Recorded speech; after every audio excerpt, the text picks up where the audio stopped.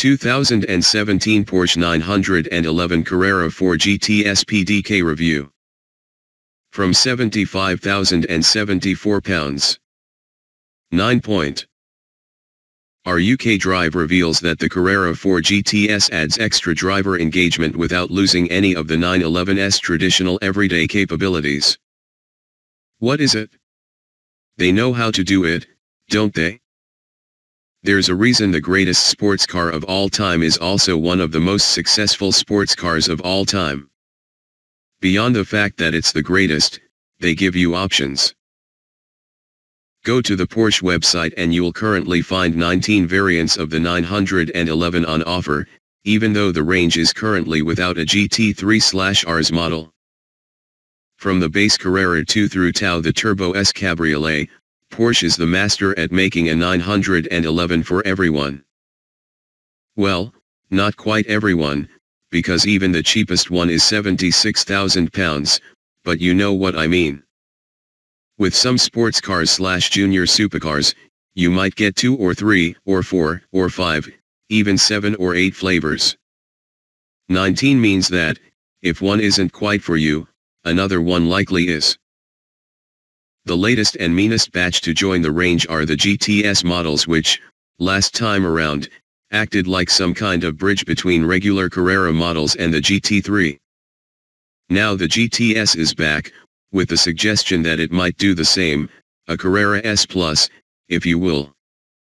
Lower, faster, keener, but not motorsport derived.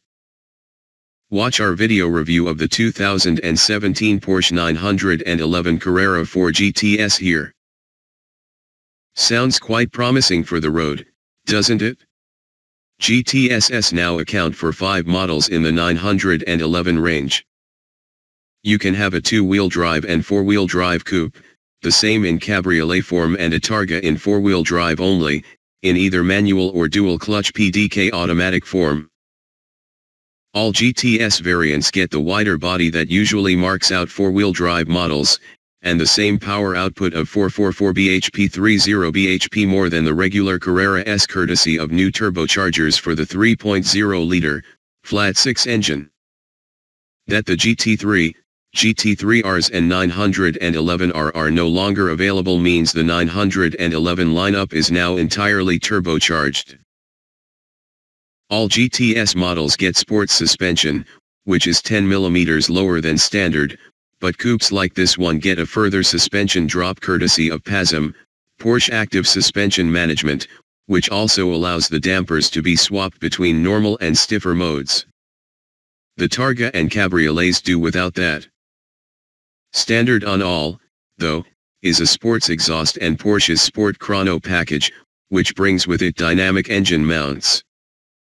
Soft during normal driving, they firm up in cornering to prevent the engine moving around and unsettling the handling of what is, let's remember, a rear-engined car. What's it like? The detail changes even between GTS variants continues. If you spec a manual car, you get a mechanical limited slip differential and Porsche torque vectoring, rear wheel braking. PDK models get an electronic limited slip differential and PTV+. I swear there are as many Porsche initialisms as there are 911s. The plus bit means that the wheel braking is combined with control of the differential.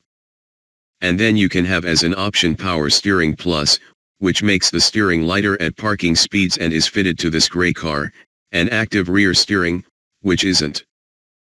Phew. Keeping up? Good. Then I'll continue, wheels are 20 in center lock as standard, and 0.5 in wider than usual, shod with 245 mm wide front and 305 mm wide rear tires. The rear track is wider than the Carrera SS, 2, to encourage less body roll. Front brakes are up by 10 mm in diameter and get larger 911 turbo pads, with aluminium disc hubs. The 0 to 62 miles per hour time falls by at least 0.2 sec and, in case you care, the Nürburgring lap time is, apparently, down by 4 seconds. Inside. An Alcantara steering wheel is the highlight, because I love Alcantara wheels, and there are a few smatterings of GTS labeled bits and bobs here and there, plus dark colors to make it a bit more moody and purposeful. But the devil is, as is so often the way with Porsche, in those technical details, intended, you suspect, to add just enough keenness and sharpness, hints of GT3, while staying road sensible. Kel surprise, they work. Boy, do they work. A standard 911S is still a terrific car and because it retains 6 cylinders, unlike a Boxster slash Cayman, the addition of turbos hasn't spoiled the engine but this GTS turns up the levels of interaction a bit further. There's no great reason it should be hugely different from a standard 911 and, well, it isn't because you can have the equivalent suspension drop on the regular Carrera S but there is a big enough difference in all the little details combine the better feel offered by the steering wheel rim, the reduced unsprung mass at the front, the modest but noticeable difference in urgency, and the resistance to roll and enhanced traction given by the new rear geometry that the GTS feels inherently keener, more engaged, and more willing than a regular 911. It still rides, too, which is some going for a car with 35 profile front and 30 profile rear tires. Even on Welsh hillside roads, you can flick the dampers into the sports setting and not be bucked from one bump to another as you would be in a Nissan GTR. It doesn't have the magic floaty feeling of a McLaren 570s, but it settles impeccably quickly and its steering, meatily heavy, is quite possibly the most rewarding electrically assisted system on any current production car. It retains a usable roundness, but it feels inherently keener, more engaging, more focused. The engine sounds a touch zingier and has suffered no discernible loss in response. PDK is now superb and the handling is as secure, predictable and engaging as you could hope. Should I buy one? Those words keep cropping up when you try to describe the GTS, engaging and keen. It's not that a regular Carrera or Carrera S lacks those things, but for every incremental model upgrade, they are the things that seem to fall away, until some of it is popped back in later. The GTS is Porsche doing precisely that. Like I said, Porsche gives you choices. Of the current 911 lineup, the GTS would be mine. Porsche 911 Carrera 4 GTS PDK. Location Wales. On sale. Now. Price. £99,303. Engine. Flat 6, 2,981 cubic centimeters, twin turbo, petrol. Power. 444 bhp at 6500 rpm. Torque. 406 pounds-foot 2150-5000 rpm. Gearbox. 7 SPD dual clutch automatic. Curb weight.